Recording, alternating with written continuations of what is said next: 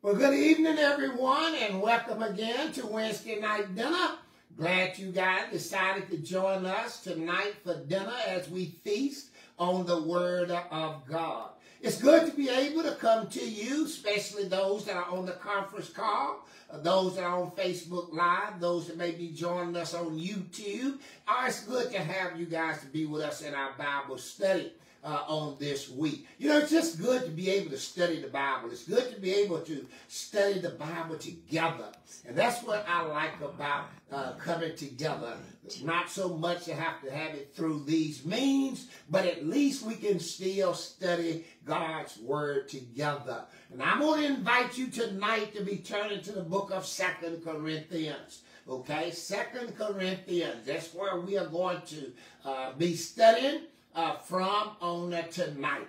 But before we get started tonight, we do want to remember uh, all of those that are in the path of Hurricane Milton. Father, we know that uh, they are, it's about ready to hit shore and all the people that is in the path of this. So we definitely want to pray for them, uh, that there be no loss of lives tonight, uh, and that storm come through. And also Storm uh, Helena that have just uh, happened last week. We just want to continue to pray. So if you guys don't mind, join me as we pray right now for all of those individuals. Father, we just want to come right now asking that you would bless all of those that are in the path of Hurricane Milton. Father, we pray that there be no loss of lives. We pray, Father, that all of the destruction will be material things and not physical. Father, we pray for those that probably will lose everything in this storm, like mm. the last storm. Father, we pray that uh, as Christian, we'll be a source of encouragement and help in any way we can. Father, we just pray for those that have lost, that have left uh, their homes and travel uh, out of the path. Father, we pray you give them traveling grace uh, as they arrive back home. Again, Father, we thank you. We thank you for watching over them and protecting them and taking care of all of those that are in this path. In Jesus' name we pray. Amen. Amen, everyone.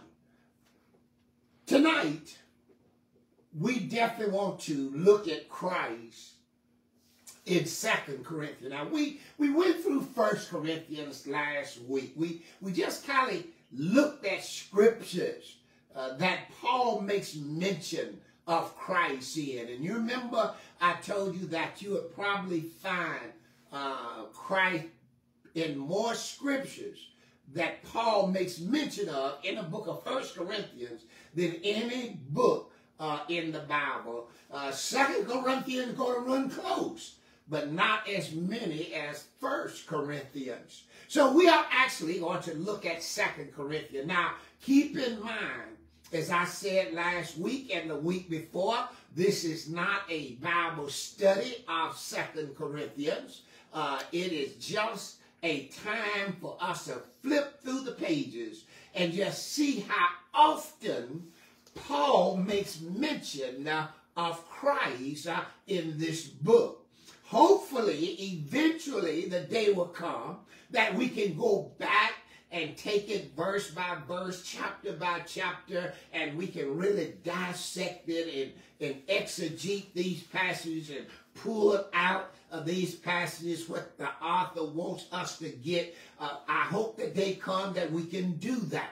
Now, we have done that several years ago uh, there at, at Bird Street, because I remember we did it, uh, First Corinthians, because I talked about uh, the problem, uh, the cause, the problem, and the solution uh, in every chapter in First Corinthians. So we, we have been over uh, the book of First Corinthians, but I don't know if we have ever really studied Second Corinthians. So maybe the day will come that we can actually spend more time in Second Corinthians. Now, again, like I said, we just gotta go through the book, flip the pages, get used to uh, this book, uh, get an overall view of what Paul is dealing with uh, in Second Corinthians. Now, as we approach the book of Second Corinthians, now it's a little different uh, than First uh, Corinthians. Remember First Corinthians? Paul dealt with just about every problem that they had. Matter of fact, they had gotten word from the house of Chloe uh, that there was all these problems in the church. And, and we looked at every problem in every chapter. But Second Corinthians is not going to be so much as dealing with the problems in the church as Paul is going to deal with uh, trying to help the church understand who he is. And that's what we're going to be looking at tonight. So let me just kind of give you a introduction uh, of the book of Second Corinthians. Now, the book of Second Corinthians is a deeply personal letter that reveals the difficult realities of ministry life. Now, we are going to see this as we go through this book. It's basically about Paul. And Paul is going to tell you a lot about himself. Matter of fact, if you want to call Second Corinthians an autobiography of Paul, you would probably be right. Because he's going to talk about himself and explain himself quite often uh, through uh, this book. Now, the central theme of Second Corinthians is the relationship between suffering and the power of the Spirit in Paul's uh, apostolic life, also in his ministry and in the message. Now that's what we're going to find, we're going to see in the book of Second Corinthians. The relationship between the suffering and the spirit. Now remember, there were those false apostles that had come into the church at Corinth after Paul had left. And they was trying to change uh, the Corinthians' mind about Paul. And remember, Paul said, you are my work. Yes, in sir. the gospel. Yes, sir. So, so they comes in and they going to try to uh, change the folk mind about Paul. Change them so they would not be against Paul. And these false apostles had all these things they were saying, like, now he cannot be a real apostle. Look how he's suffering. A real apostle would not suffer like Paul is suffering. So that lets you know he cannot be a real apostle. Paul is going to defend that. Notice how many times we go through this book. Paul going to talk about his suffering. He's going to talk about the things he went through. But in reality, he's going to say, the reason why I went through what I went through was because of the gospel's sake. It was because of my relationship mm -hmm. with Christ. Totally opposite of what the false apostles are, were saying.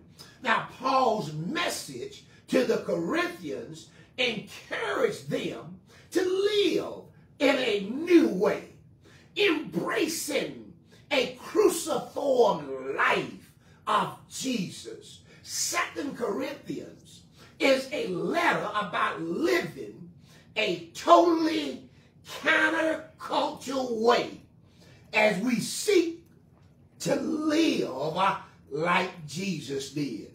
And that's what we're going to find in uh, this book of Second uh, Corinthians. So when we start off, we're just going to hit some of the scriptures, just like we did last week, that mentions Christ now keep in mind, this book, if I had to put a title to the book of Second Corinthians, it would probably be a therapy for the hurting.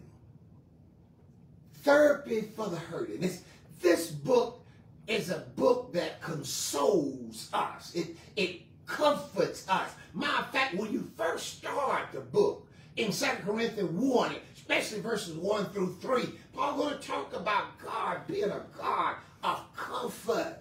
So he's going to say that we can be comforted by God. So if you're in Second Corinthians chapter 1, Uh, let's let's begin.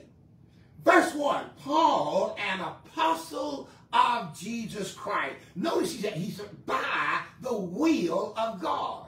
And Timothy, our brother unto the church of God, which is at Corinth, with all the saints which are in Achaia. I think my phone died, didn't it? Yes, you got to call back in. Okay, you guys on Facebook, hold on a second. I think my conference call died out.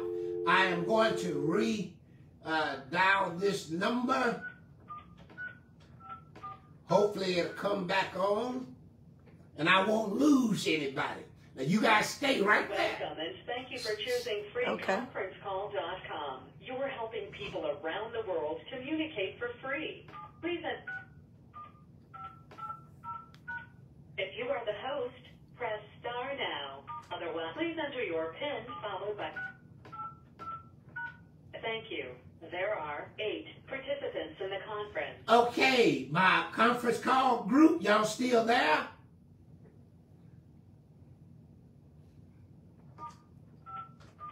All participants are muted, and they can.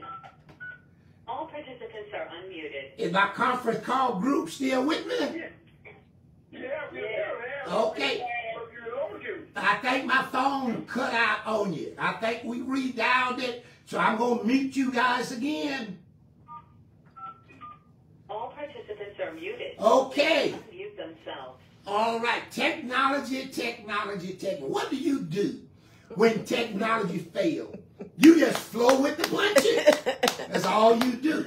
So I hope you guys on Facebook still there. Uh, I can't fix you all, but I can fix the phone call. Okay. Now, verse one, Paul said, "I'm an apostle of Jesus Christ." Yes. Now, why would he start this letter off saying that? It's evidently because the word that got back to Paul from Titus, remember, he had sent Titus down to Corinth, and we learn all of this back in the book of Acts, uh, chapters 18, 19, and 20. But when Titus comes back, Titus brings word back to Paul, and he tells Paul, he said, now, Paul, uh, I know we, you dealt with some of the problems when you wrote that first letter. But Paul, let me tell you, there's still some problems in the church Amen. Corinth. And not, may not be so much the problem with the members as it is with other folks that have came into the church. So Paul, Titus tells Paul this, he gives him this information, and Paul now have to write another letter. Now, Paul had visited them because, see, they had this idea that Paul says one thing in his letters, but when he's in person, he's a totally different person. So Paul have to write this letter. Again, we're going to find out that Paul going to later on say, when we get over in chapter 2, I believe, and he's going to say that, you know, I hated to write such a heavy, weighty letter to you guys, but you all need to be corrected because they saying I'm not an apostle of Jesus Christ because uh, I, I, I, suffer so much and I will not take money from the church uh, at Corinth and I'm weak when I'm in person and I'm bold when I'm writing. So therefore this guy can't be no apostle. So Paul starts this letter off by saying, hey, it's me, Paul. I'm writing this. And guess what? I am an apostle of Jesus Christ. And guess what? I didn't make myself an apostle of Amen. Jesus Christ. Amen. I am an apostle by the will of God. Now let me ask you all, are those other guys that are there in the church at Corinth that's claiming to be apostles? Are they apostles by the will of God? Quite naturally not. He said, and Timothy, our brother, he write this unto the church with all the saints which are in uh, Achaia. Now, Achaia was the province which the Corinth, the city, was located in. Several churches were there in Achaia besides Corinth. And Paul said, I'm writing this to all the saints. So we see he make mention of Jesus Christ in verse 1. But if you look at verse number 2, he said, Grace be to you and peace from God our Father and from the Lord Jesus Christ. And then you look at verse 3. He said, Blessed be the God and the Father of our Lord Jesus Christ, the Father of mercies and the God of all comfort. So again, he keeps mentioning about Jesus. He keeps emphasizing Jesus Christ as he writes this letter. My fact, in verse number five, he said, For as the suffering of Christ abound in us, so our consolation also abounds through Christ. Paul simply saying, just like we suffer, Christ suffer, we suffer. We suffer in Christ, Christ suffer in us. We, we are in this thing uh, together. So he makes mention of the suffering of Christ. Then he drops down to verse 19. I'm still in chapter 1. Verse 19 says, For the Son of God Jesus Christ, who was preached among you by us, even by me and Silvanus and Timothy, was not ye and yea or nay, but in him, yea. Paul says, now we preach Christ unto you. Not only did I do it, but Silvanus did it. He says Timothy did it. Titus did it. By fact, we also learn in, in 1 Corinthians that Apollos uh, was there in Corinth. He preached Christ unto them. And he says, in Christ, in him, it is yea. Yeah, we preach Christ unto you. Why do you guys still have such a problem? The problem was not the gospel that Paul preached. The problem was the false apostle that was saying he was not a true apostle. Now drop down to verse 21, a couple of verses. He said, Now he which established us with you in Christ and has anointed us is God. Can you see Paul still defending himself? He defending his credibility among the, the Corinthians. He shouldn't have to do this. He had been with them for 18 months. He preached to them over and over and over. He had only been gone for about a year or a little bit over a year. And from the time he was there to the time he left a year later, seemed like some of them was making a 180 degree turn from what Paul had taught them. So he reminded them again that he which established you, strengthened you in Christ. He said, we was anointed. Yes. By him. We are the one that taught you. Why do you have, or why are you second guessing us uh, now? So let's move on to chapter 2. Now, in chapter 2, let's begin at verse 10. He said, To whom you forgive anything, I forgive also. For if I forgave anything to whom I forgave it, for your sakes, forgave it, I, it, in the person of Jesus Christ. Now again, when you look at these verses that I just pick out, I know I'm not dealing with the context of the verse. And it's hard to explain the verse without looking at the context of the verse. But again, I just want to show you Christ, okay? When we come back and study uh, the book of Second Corinthians, we'll see why Paul is saying what he's saying and who it is he forgave and who it is that he's talking about that he that he forgave. We'll find out that person who it is. But right now, we're just going to move on to verse number 12. He said, Furthermore, when I came to Troas to preach Christ's gospel, and a door was opened unto me of the Lord. Paul says, as I travel. Now, keep in mind, Paul is writing this epistle, the second Corinthians, from Macedonia. Okay? Now, the first one, Corinth, he was writing it from Ephesus. So here, he's in a different place. First time, second missionary journey. This time, he's on a third missionary journey. And he's at different locations as he traveled and preached the gospel. He says in this verse, when I came to Troas to preach Christ's gospel, he said there was a door open for me. Amen. And what was that door? Come over Amen. into Macedonia and help us. So Paul, sometimes doors was open, sometimes doors were shut. It was all by the guidance of the Holy Spirit. Paul was guided by the Holy Spirit. He followed the Holy Spirit. And when the Holy Spirit was saying, nope, you don't need to go there, Amen. he didn't go. But when the Holy Spirit said, you need to go over there, he went. Oh, ain't that a lesson for us today? Mm. Ain't it a lesson for you and I if we would just learn to do what Paul did? Because sometimes doors close. The Holy Spirit will close a door.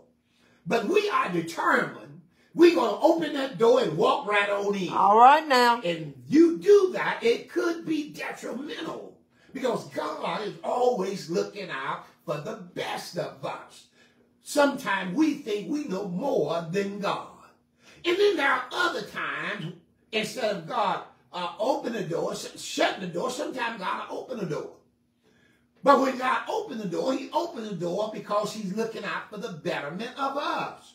But we may not want to walk through that door. Because see, in our mind, we thinking, I'd rather go through that door. I don't want that door. And sometimes we treat our lives like like on the price is right. I think is that the game where they have the different doors that they can pick. You know, it's, I, I'm going to pick door one, or I'm going to pick door two. Let's make Or- a deal. Let's make a deal. That's what I'm looking for. Uh, let's make a deal. You know, I want door one, or door two, or door three. They have the choice to pick any door they want. But they have to be satisfied with whatever's behind that door. Well, see, in life, when you following God and you following the direction of the Holy Spirit, the Holy Spirit is going to open up the right, right door for you. You may not think it's the right door, but it is the right door. You may be saying to yourself, I don't see how this is going to benefit me.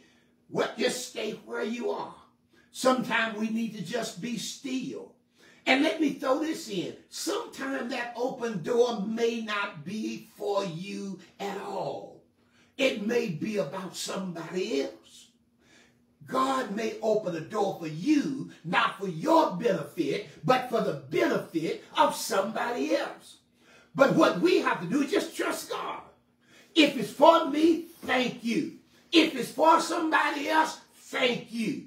So we just have to learn to walk through the door that God opened. And here, Paul said, there was a door that was open unto me of the Lord. He had such a relationship with the Lord. He knew that it was God that opened that door. Now drop down to verse 14. He said, Now thanks be to God, which always causes us to trump in Christ, and maketh manifest the savor of his knowledge by us in every place. Paul said, I just want to thank God.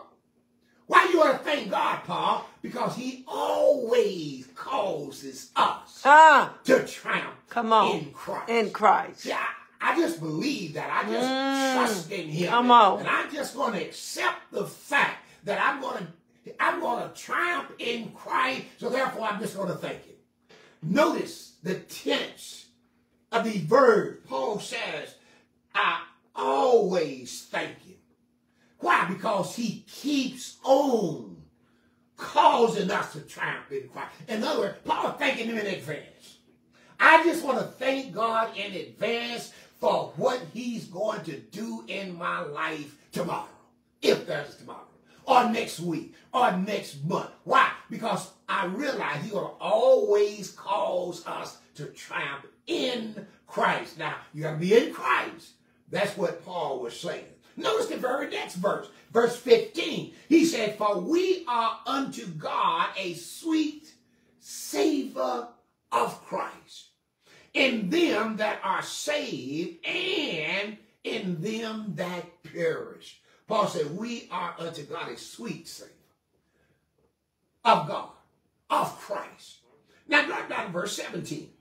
He says, For we are not as many which corrupt the word of God, but as our sincerity but as of God, in the sight of God, speak we in Christ. Now again, unless you know what was happening and the background of, of, of, of why Paul writes this letter, you may miss verse 17.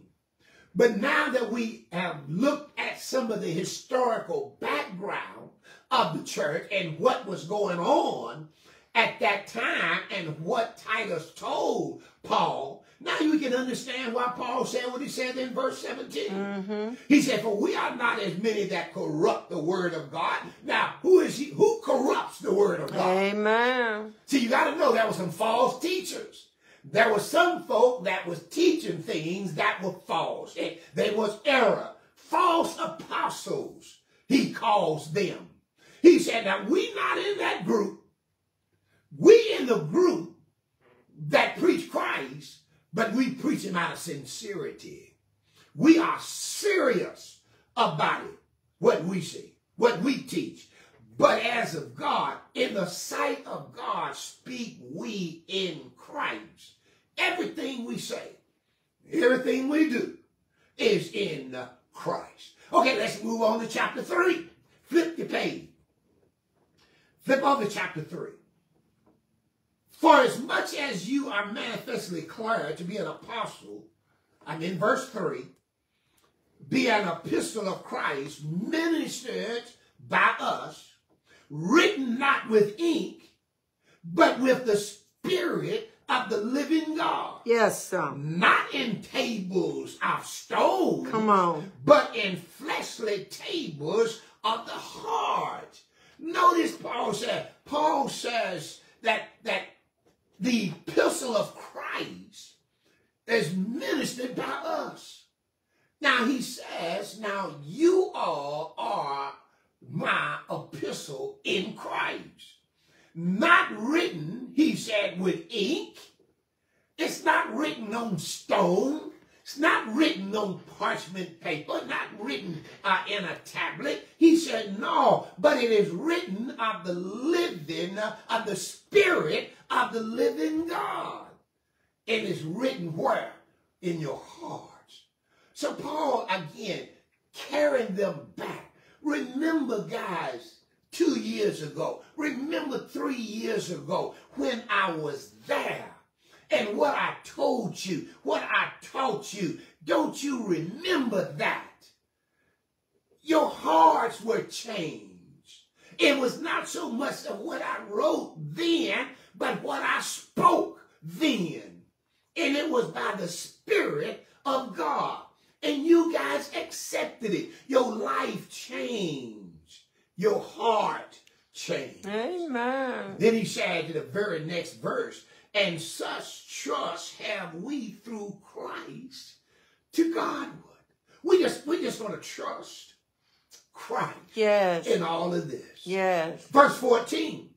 But their minds were blinded. Mm. For until this day remaineth the same veil untaken away in the reading of the Old Testament, which veil is done away with in Christ. Yes. Paul says, these guys' minds are blinded. Yes. How are they blinded? They blinded Mm. because they will not accept the truth. Yes. See, when you still trying to follow the Old Testament and the old law, and it was evident by Paul making mention of this, that it is evident that they still trying to bring in some of that old stuff. Yes. I understand it now. You under grace and truth.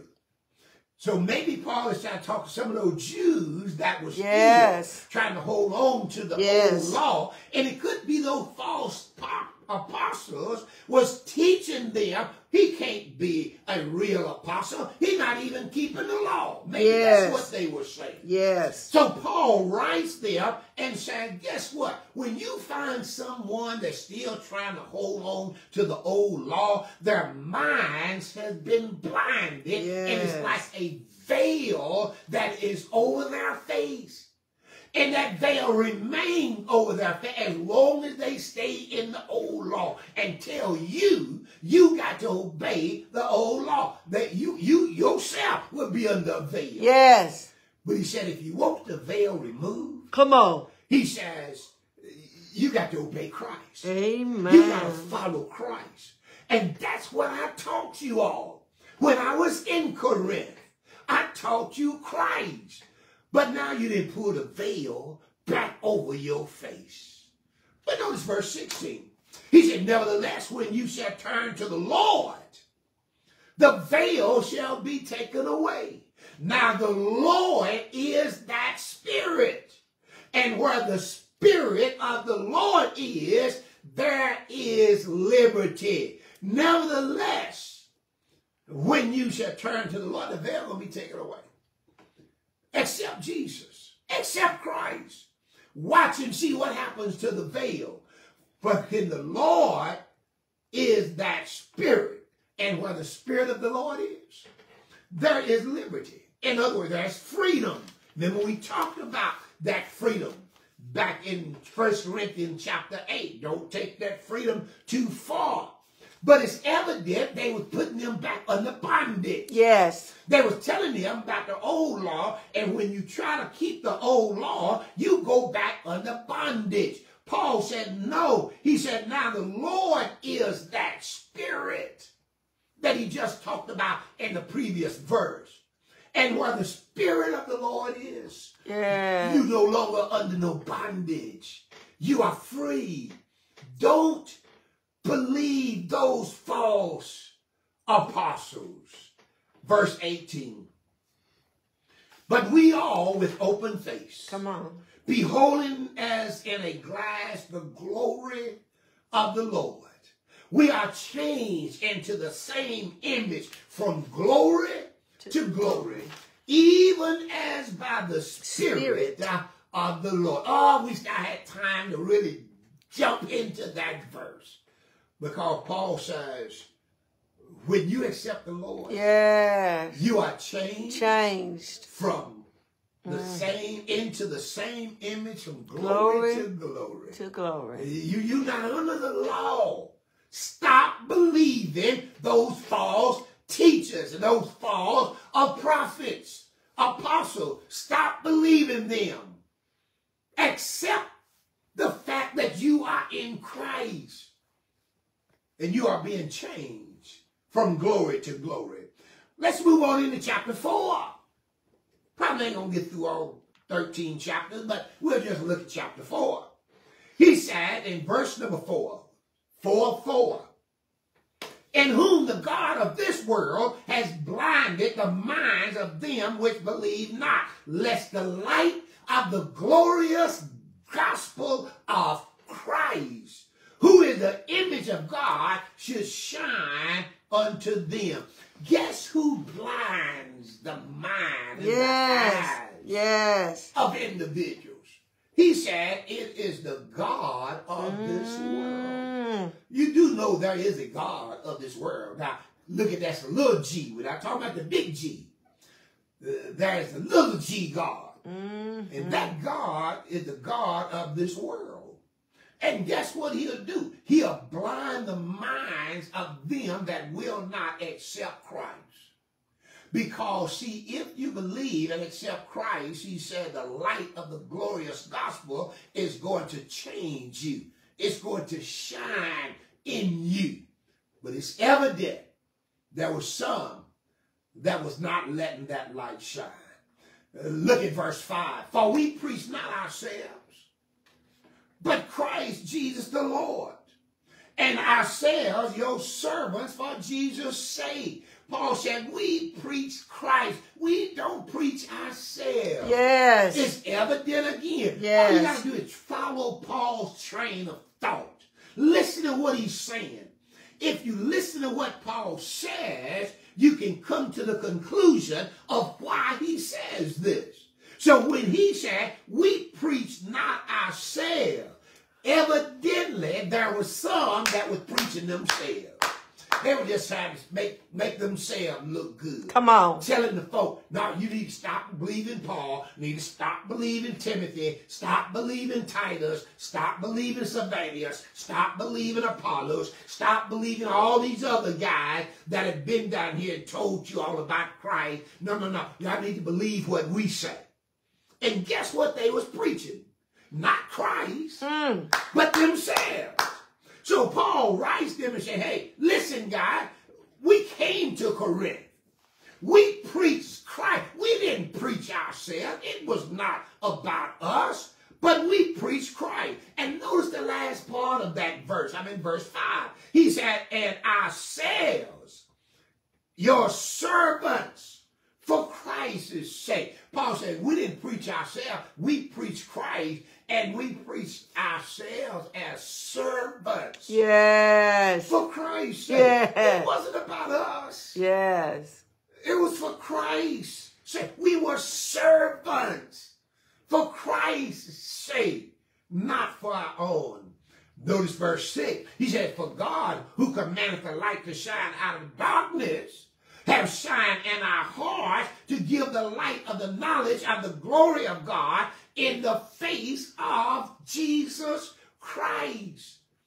Everything Paul says, he says to remind the church at Corinth exactly who he was and why they said what they said.